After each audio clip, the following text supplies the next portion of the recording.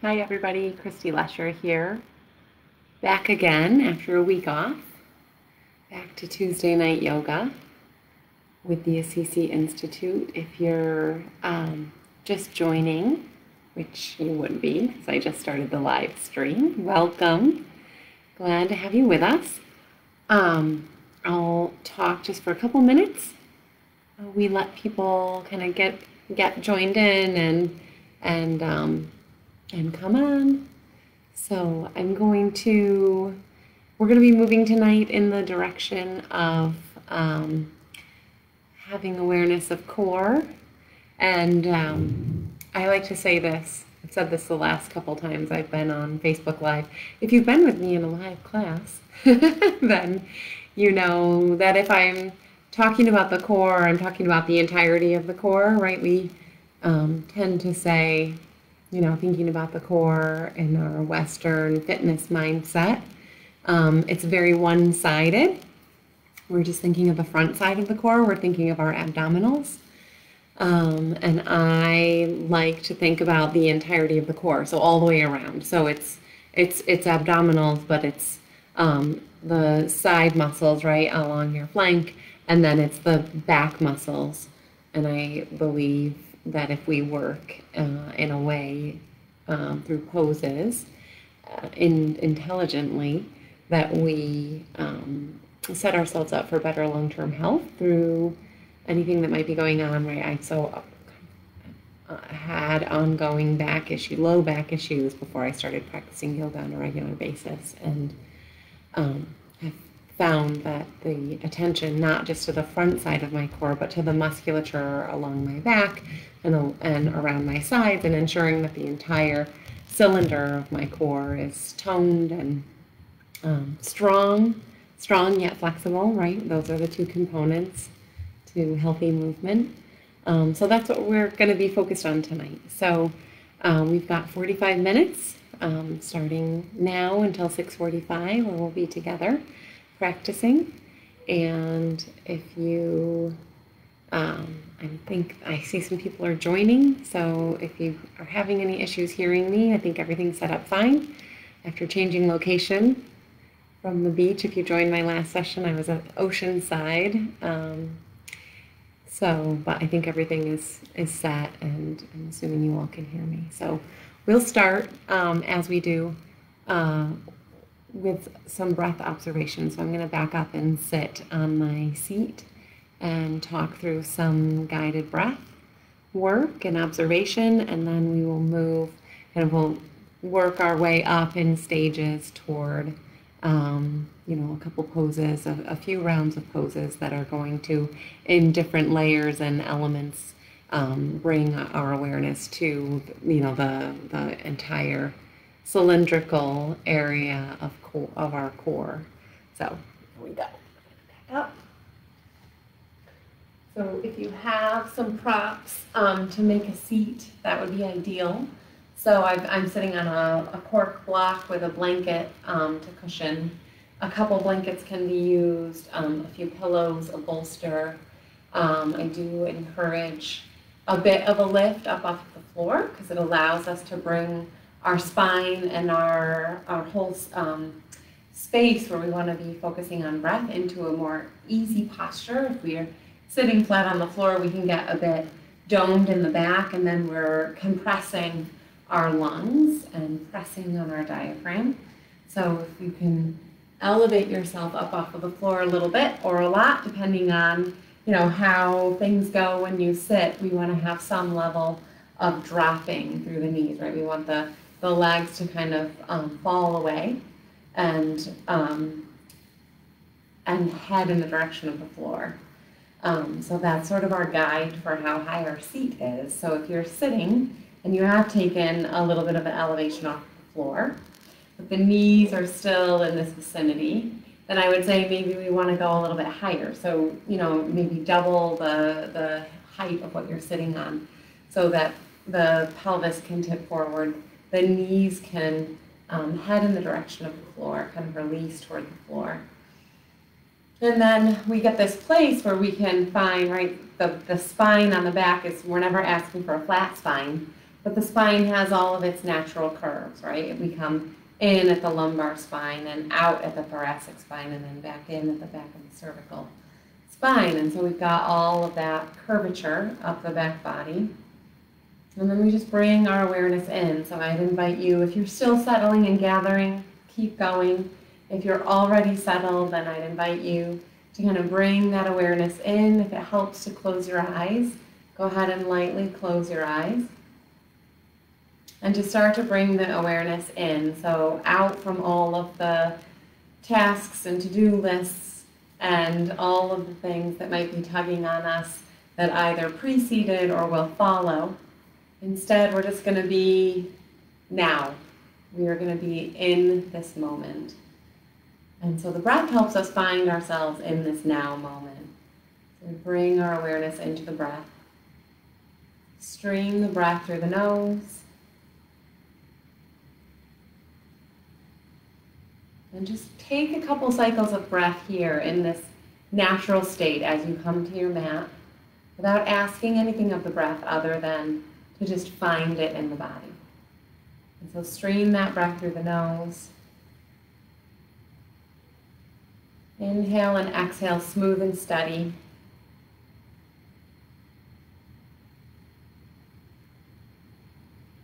See if you can release any holding in your face. So we want to soften the jaw, soften the throat, soften the eyes. Kind of like gravity, they kind of give over to gravity, right? If we were in Shavasana, everything would melt back and down toward the floor.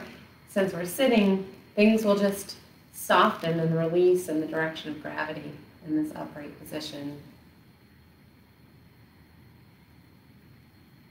And then for today's practice, we're just going to see if we can move the breath to this place of even inhale, exhale. So the inhale, right, we tend to focus on the inhale breath, and the exhale is a bit of this afterthought. So on your next inhale, take an observation. See how long that inhale takes. I find it helpful to count beats, right? Um, seconds so I count as I take my inhale, and it's usually a three or four second inhale. Maybe we're starting to think about elongating that a bit and slowing the breath down. And then I see if I can even my exhale out so that it is the same duration as my inhale. So if you were on a three beat or a four beat inhale, See if your exhale can be just that long, the same length. And find that mostly not by exhaling more to make the exhale longer, but by slowing it down. So now we're shifting into this other gear instead of just observing the breath and where it is, but now we're going to kind of take a little bit of control over the breath and apply a bit of uh, practice to the breath. So instead of breath observation, now we're in practice. So carry on, just follow this breath for a few cycles. Even inhale, exhale, both sides of the breath, equal length and duration.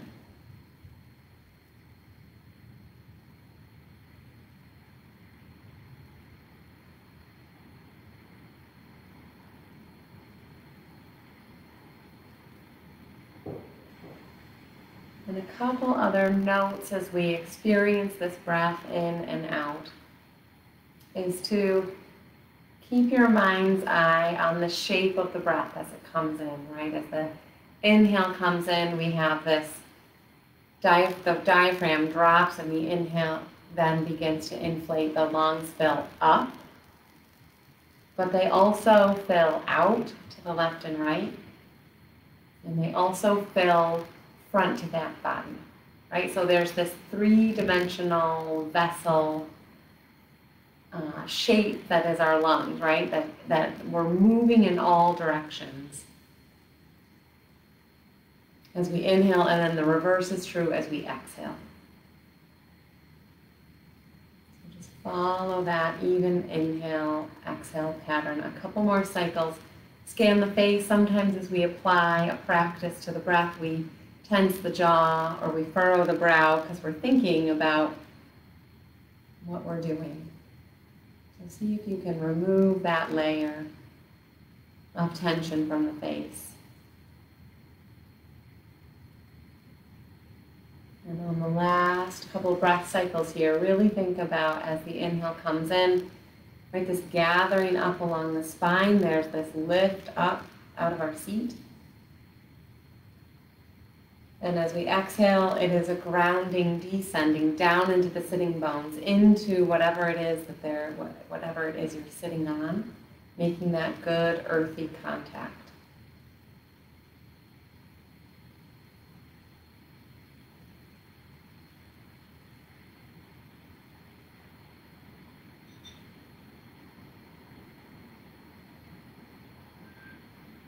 And as we come back into now, into this moment, right, let your next inhale come. And then as the exhale comes, let it be passive, right? So now we're going to let go the work of elongating that exhale. We're going to just allow the breath to return to its natural steady state.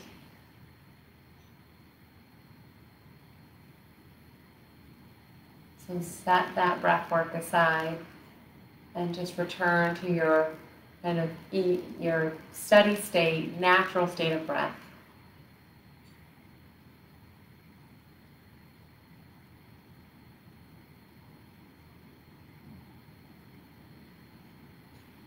If you were practicing that breath work with your eyes closed, then I'll invite you to slowly crack the eyes, let the light come back in. Bring your awareness back to your surroundings. And then we'll go ahead and uncross the legs. So go ahead, help the knees as we unfold. Extend the legs out in front. Come off of that seat. So I'm going to just come off of my blanket and my block and set them aside. And go ahead, just extend the legs out in front, kind of give them a little shake. After sitting for a moment. We're going to move into, before we come up away from the floor, we're going to come um, onto the back body with our strap. So hopefully, if you've been with me for the first few practices in August where we were doing um, practice on Tuesday nights, um, if you don't have a yoga strap, you've probably found something in your house that's a good substitute. So hopefully that's close by. Um, and we're going to go into Supta Padangusthasana, which is to find a little length along the back of the legs. Um, we are going to be moving toward core. Um, so we're going to take this tonight and, and we're going to take this pose um, and also still be really mindful about what's happening in our core and in our abdominals along the side body, our muscles that are pressing into the mat. So go ahead, we're going to come. Um, I'm going to start with my right leg. So I'm going to come kind of align myself onto my mat. Loop, I'm going to loop my right foot. So I've got my um, strap at the ball of the foot, right? So it's not on the arch and it's not up on the toes, but it's right on the ball of the foot so I can press into the strap there. I'm going to come back and extend that right leg up into the air. Left leg pressing away, Supta Padangusthasana, or in English, hand to big toe, right? Because eventually you may find yourself, or you may already, right? If you're if you're um, a bit more released in the hamstrings, you might already be hand to big toe. But if not, right, we have this gracious strap that we can use to bridge the gap. We want to feel this back right shoulder blade pressing into the mat. And press out through that left foot, right? The left foot is extending out away and this left leg is completely active. So uh, if you if I stood up on this on this left leg, this leg would carry me. I would stand firm. And so breathe through here. You should be feeling all through the belly of the hamstring muscles stretch right? A nice, long, even stretch. If it's super intense, you could bend the knee a little bit to take some of that um, heat off of the stretch. Or you would just elongate your loop and let the leg come farther away from the body, right? So there's a couple different ways you could um, address and if this stretch is a bit too intense. We want to be able to be here long enough to let this, uh, let the hamstring release.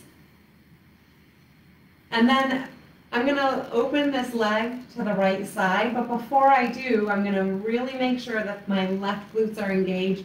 And I'm going to be mindful of my abdominals today, right? I'm not gripping them, but I am prepared, let's say that. And I'm going to go ahead and let that right leg open to the right side. There's a level of abdominal control that is required so that this leg goes slowly over to the right. And keep pressing out through that foot. Now you're getting inner line of that right leg released. Right, and we're not doing nothing through the abdominals. We're not gripping, but we're not doing nothing. So there's this interesting middle area where we find ourselves and there's this musculature that is engaged and um, kind of controlling the, the pose, if you will. Find that. It's kind of the whisper of the beginning of this pattern. Go ahead. We're going to inhale this leg up. I'm going to switch hands. I'm going to take the strap with my left hand. And then same thing, right? I'm not going to just flop my right leg over to the left. So we're going to take the Parvri, where we um, have the twist. I'm going to use abdominal control, right? It's through the abdominal control that we move slowly, slowly as I roll up onto my left hip. Left pinky toes down there at the end of the mat. Come to the floor. And this leg is only as low as my hip is. So I don't let this leg go all the way to the floor. I keep it about um, parallel to the floor right? And then we have this nice rotation through the abdominals. Breathe through that rotation. And you're getting this IT band stretch on the top of that right leg, right? The, the, the right leg now, the outer line of that right leg faces the floor, and you get this stretch all through that IT band. To come out, bend the right knee, back up we come release, lower, pause for one moment and just observe left side to right side, right? And feel how those two legs feel differently. And then when you're ready, loop the left foot,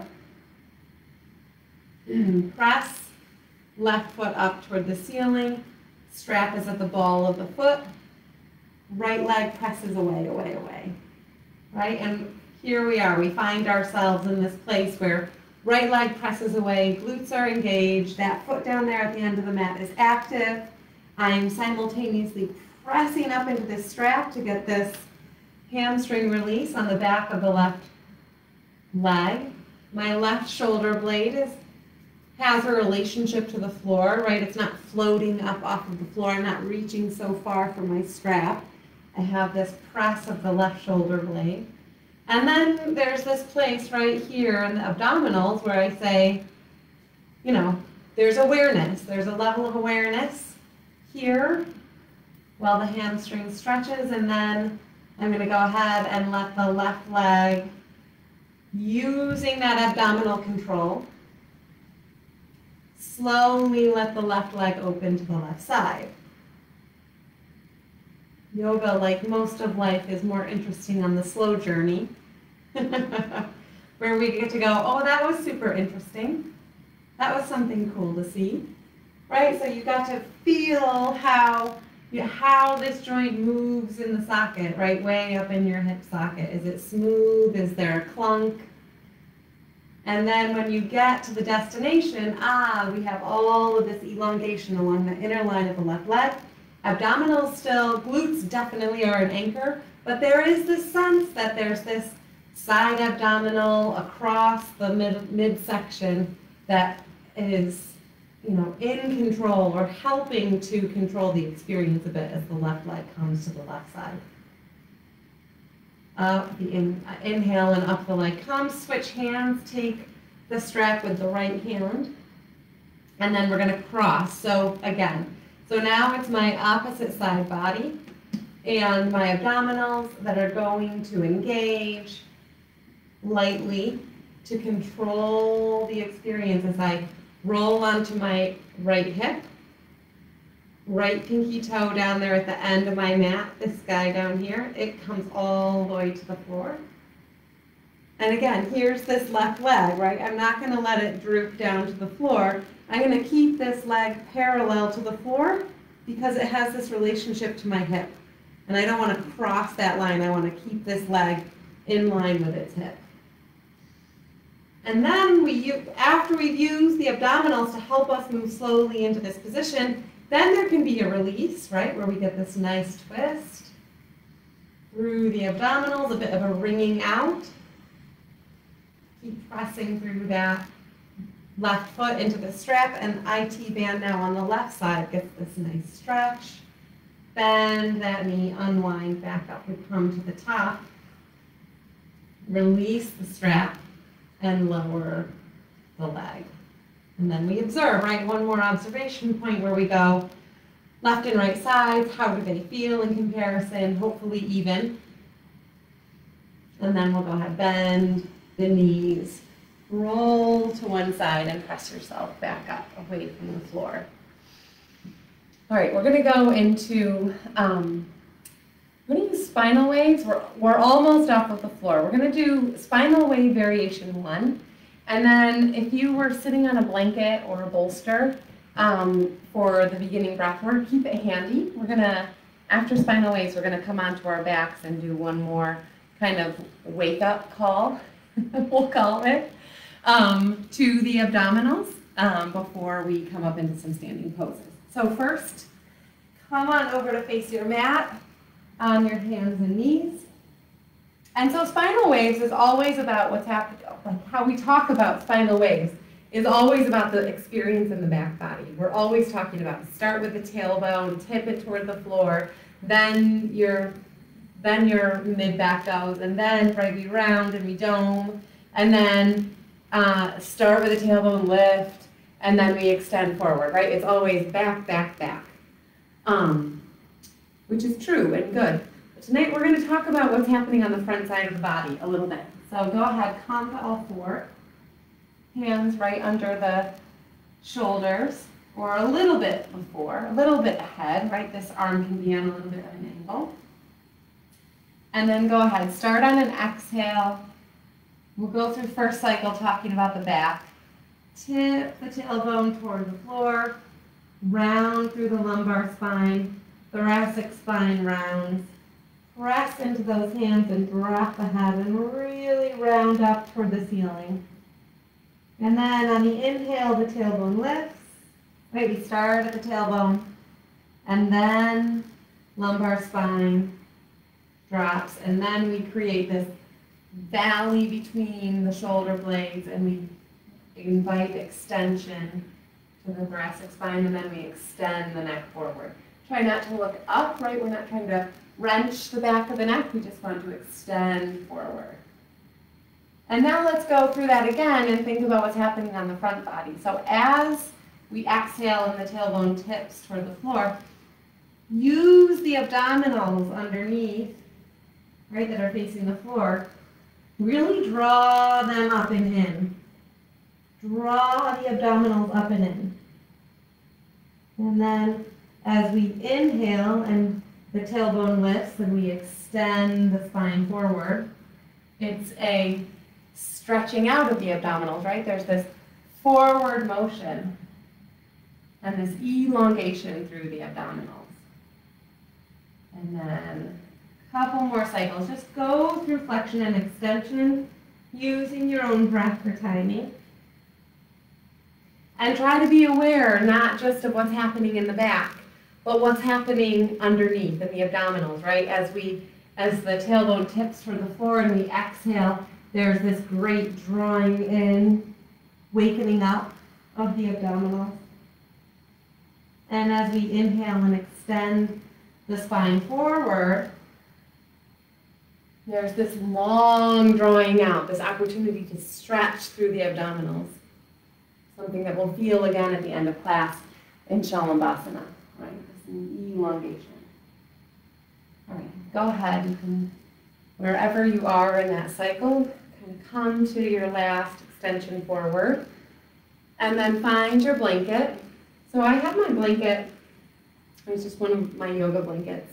And I have it folded um, into this narrow, um, like folded in quarters.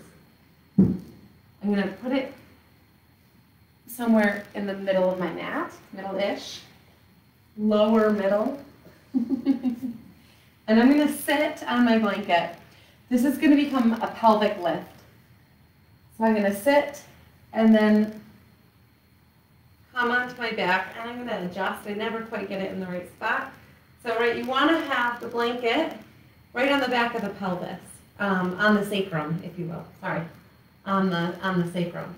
So I have this little lift, and from here I'm going to extend my legs up. So I'm in this L shape.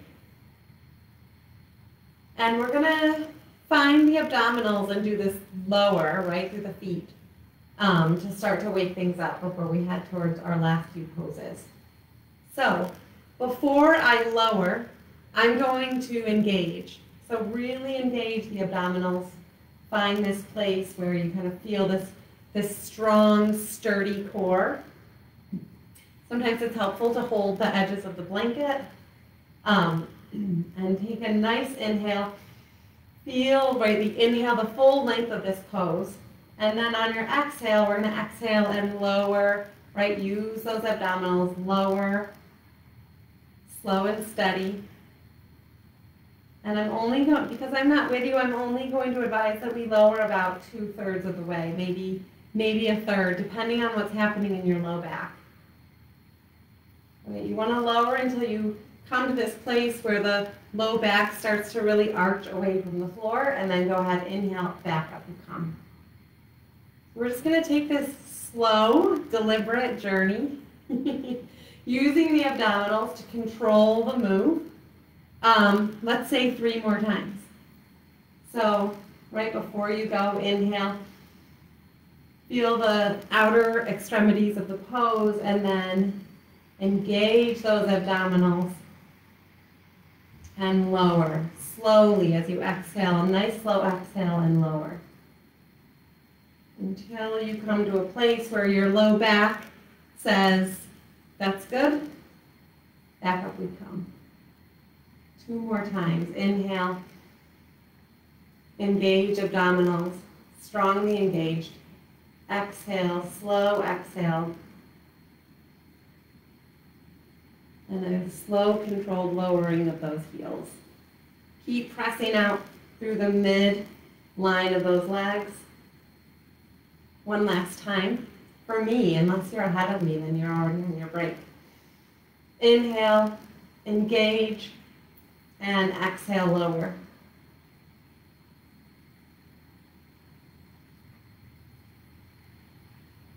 And then on your last inhale, bend the knees and hug the knees in. So this is child's pose, but on our backs. And we get this extra little tip because we're on this blanket, right? So it really gets, we really get this nice tip mm-hmm. in of the pelvis in to the body.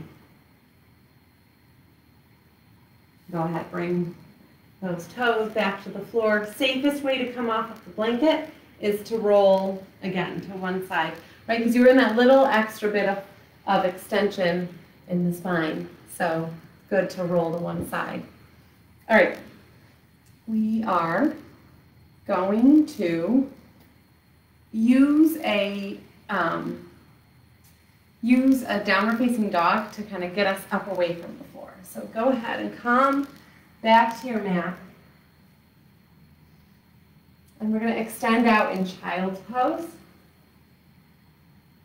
So my toes are together, my knees are a little bit apart, and I'm going to press back into child's pose just to find my distance on the mat, right? My arms are fully extended, palms are pressing into the mat, and the fingers are well spread Right, we want as much surface, um, making contact with the mat. And then from this place, we're gonna turn toes to the mat, press ourselves up and back into Adho Mukha Svanasana, downward facing dog. Right, you just use this pose as an opportunity to feel those hamstrings that we've already woken up.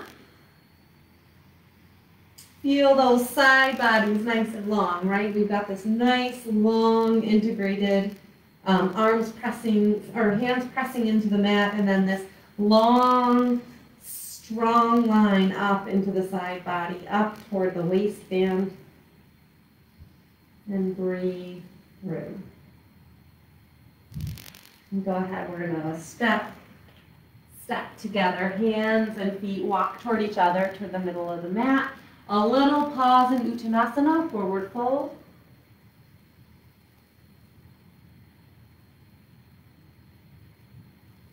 And then to come up and out of Uttanasana, we're gonna just bend the knees and then press into the mat up into Tadasana. So pause a moment. I'm just going to reorient myself so I'm facing the camera. And just pause in this moment, right? Kind of halfway through practice, upright. And try to recapture that sense if you were with me at the very beginning for breath work, right? That sense of inhale, exhale, the breath kind of riding up and down the spine. And the inhale, giving the lift. And the exhale, giving that grounding sensation down, now down and out through the feet.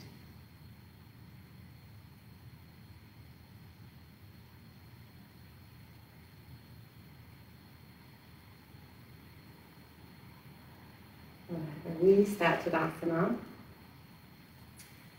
And we're going to take, um, we're going to take Warrior Three, which I know is a bit like, what? um, I miss laughing with all of you. I know I would always get some good laughs when I would say something silly like that. So, so I'll laugh for all of us. um, but Warrior Three has um, there's a there is a core element to Warrior Three, right? So there are, as we tip forward and hinge forward, there's abdominal control, right? As we open the leg in Supta Padangusthasana, we thought about that abdominal control. There's that level of abdominal control. There's also this side body, right, as we extend the legs, or extend the hands forward. And there's also this element of, um, it's larger than a small element. It's a big element of back strength to suspend both arms and one of the legs and have all of that hanging forward and backward in the hinge, in the balance, if you will, and, and all of the work and control it takes through all of these small muscles on the, um, not only on the sides, but up into the back as well. So, so that's where we're headed. So I'm gonna go long ways on my mat so you guys can see the side to side here. Um, so I'm gonna start by I'm going to stand into my right foot first, so my left leg is going to lift behind me. So I'm going to really think about my right foot, making good contact with the earth. I'm like, you can't see it on the little camera, but I'm like spreading my foot out on the mat. My right foot is really kind of taking up as much real estate as it can on the floor. I'm going to inhale my arms up overhead. And then Virabhadrasana 3, it's a forward fold at this right front hip. So this left leg gets a bit like a pendulum, right? I tip forward at that right front hip and I extend forward. I'm less interested in how high this leg lifts or how far forward we hinge and far more interested in the amount of reach we have away. So I want as much reach as we can get forward and really think about extending that back leg back behind you. And then it's a matter of abdominal control, side body control, back body strength. up. And arms come down. And then I'm gonna stretch my, my left foot out along the mat, right? Really think about um, spreading that left foot, getting as much contact with the mat as you can. Inhale, both arms up overhead. And then hinging at the left front hip, right leg sort of swings in the balance as we hinge forward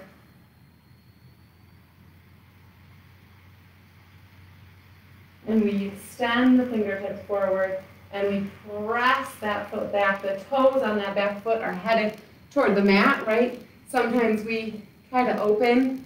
It's easier, frankly.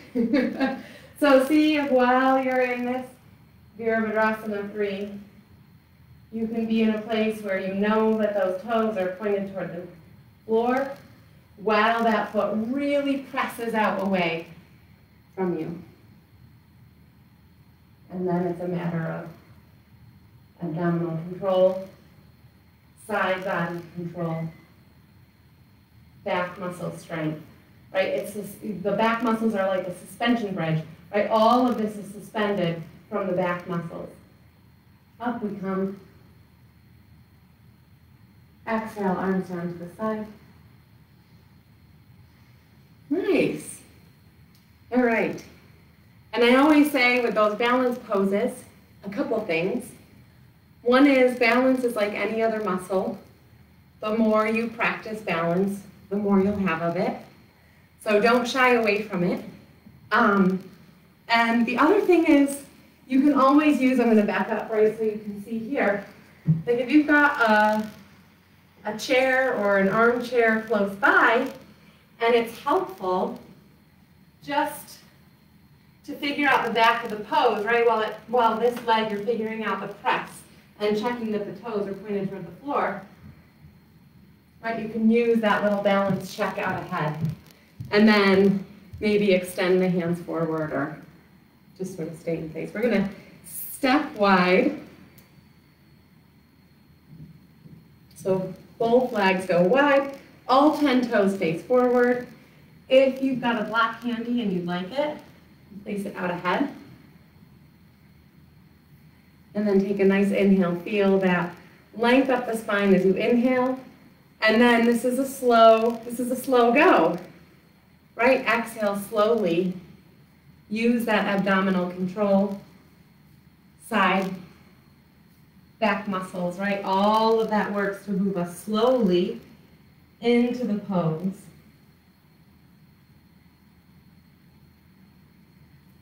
Wide leg forward fold. Prasarita Padottanasana. Right, you use the block to find the place where the pose ends for you. So you might need the block, you might just take the floor. Breathe through and press, right? We want to press through the pinky edges of the foot so the arches uh, are lifted and we have this us sending energy up from the arches, up through the inner lines of the leg.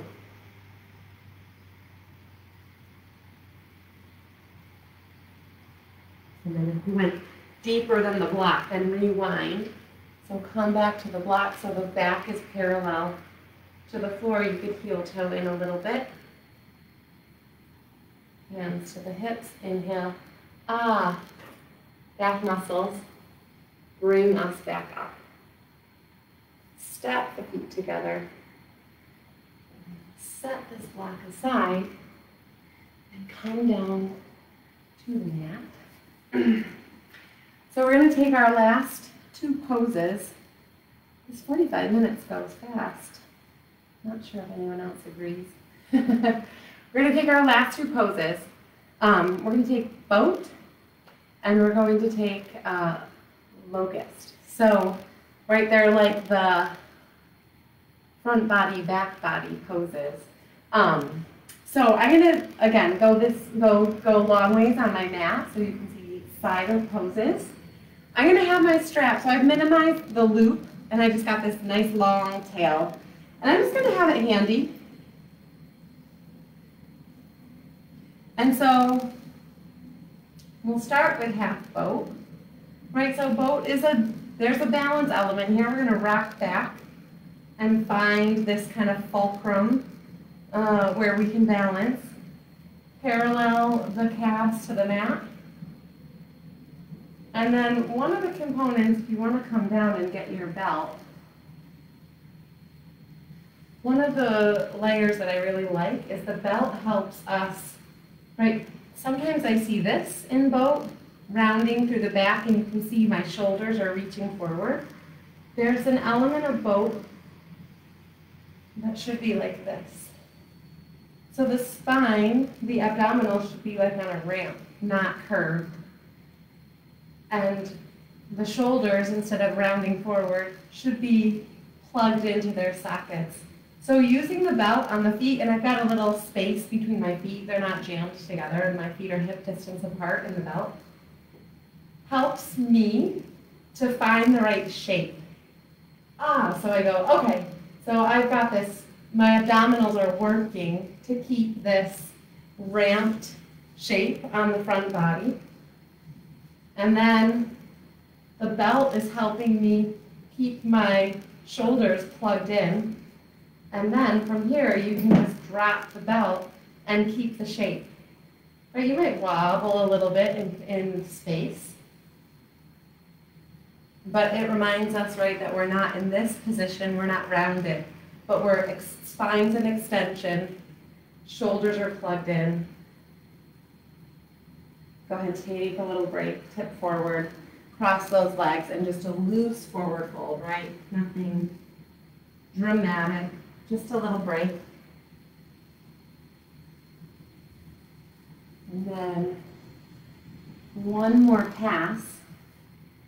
Can take the strap again, set yourself up in Ardha Navasana, and then drop and test the waters, right? This might be a no-go, but you can work toward extending the legs, keeping your balance, keeping all this abdominal engagement, and keeping those shoulders plugged in.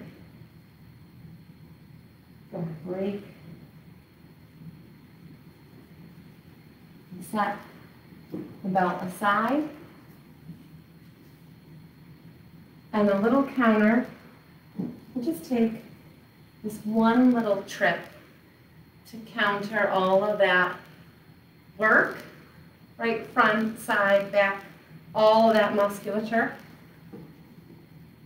This is going to be a little break for those abdominals. So I've got this blanket here, a little extra cushion for my hips. I'm going to set up in Sphinx and then go ahead and lift back, right? We peel ourselves up and away from the mat. So we got extension on the front side now and work on the back side. So glutes are working, yes, because the legs are lifted. But back muscles, right? All of the back muscles are working. Go ahead, release let your, let your forehead release into the back of your hand.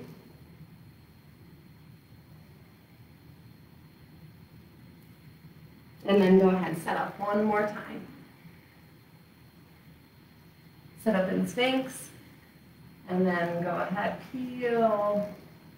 Right, you can leave the feet down if that feels like too much. You just want to focus on what's happening here. Fingers extend um, press those shoulder blades together, really deep valley between the spine or along the spine.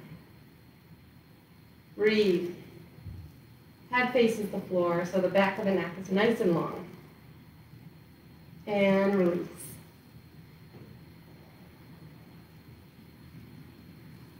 Go ahead, press away from the floor. Remove that blanket. Last little counter pose. It's like pose, counter pose, pose, counter pose. Ah, child pose here. And let it just be passive. So just release the forehead into the mat.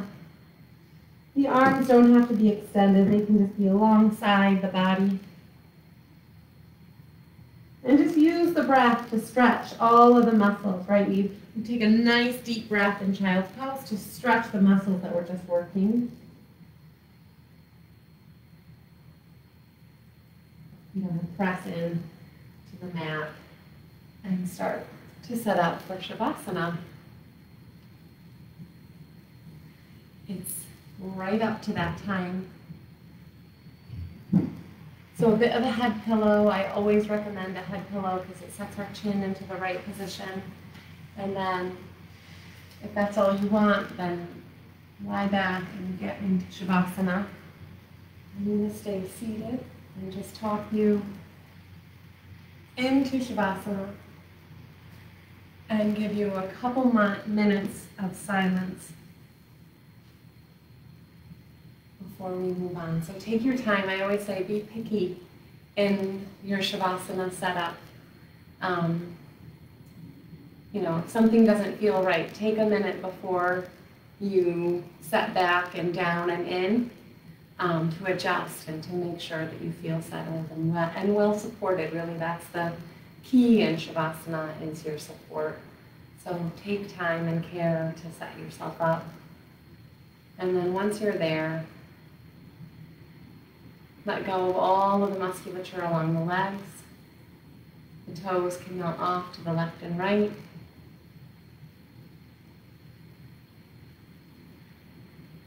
Feel like the back of the pelvis settles evenly into your mat. Right, so really think about the left and right side of the pelvis. Does it feel evenly weighted? Release all, all and any of the muscles that are making contact with the mat along the back. Release all of those muscles. Kind of feel like you've melted into the mat in the places where you're making contact.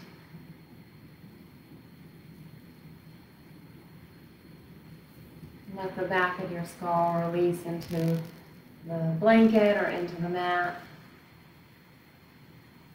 And then yield all of your facial muscles. Feel like your face is just a soft piece of gauze.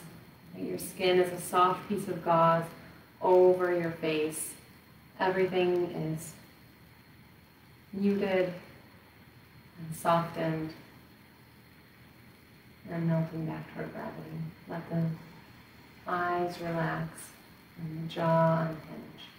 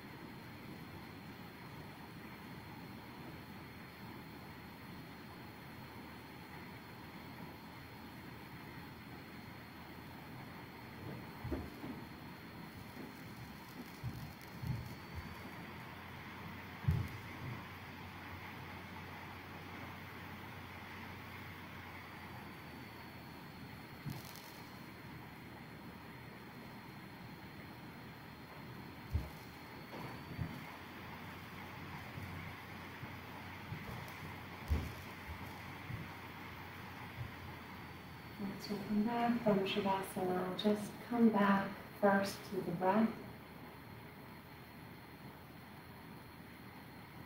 Let the physical body stay just as it is and just invite your next inhale in a little more deeply, a bit more fully.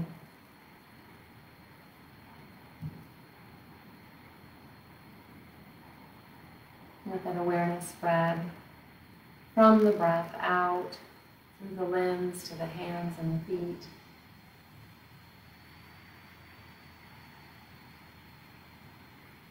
When you're ready, you can bend one knee at a time, bringing the feet back to the mat.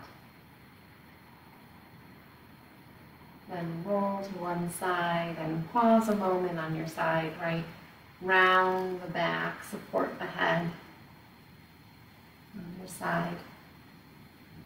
And then when you're ready, use that upper hand to press into the floor and slowly bring yourself back up to sitting.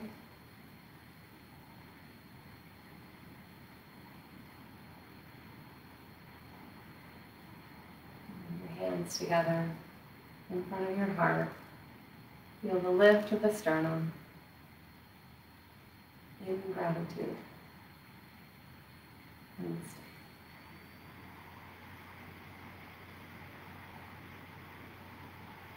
So thank you for joining this first Tuesday. The first, first, it's the first Tuesday, it's the first of the month.